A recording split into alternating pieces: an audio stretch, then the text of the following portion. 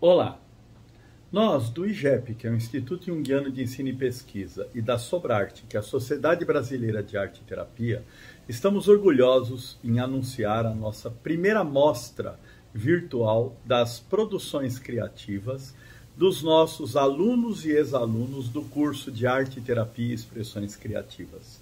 Jung nos ensina de que toda expressão criativa, ela é poética e ela é curativa para quem faz. E, na maior parte das vezes, aqueles que de alguma maneira entram em contato com esta produção também acabam se beneficiando e possibilitando cura.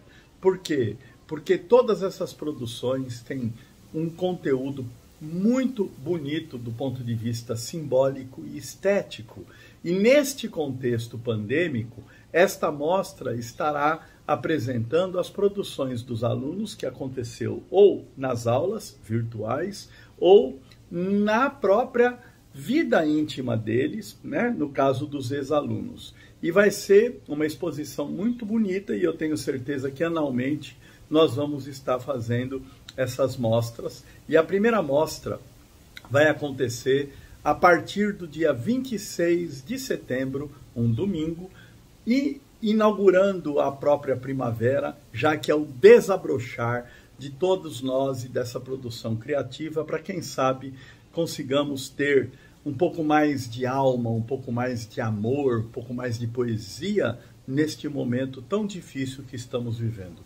Eu conto com a sua participação e com a ajuda em divulgar um evento tão bonito como esse, que é gratuito.